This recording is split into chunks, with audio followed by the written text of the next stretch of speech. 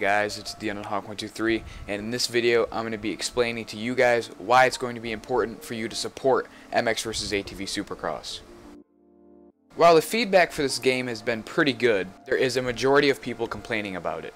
You know, people say there isn't enough customization items and that the preload is useless and the rider looks floaty and the physics look bad. You don't even look connected to the track. Some of that may be true, but to be honest, none of this matters. We, the fans, are even lucky that Nordic Games picked up the franchise and decided to continue it.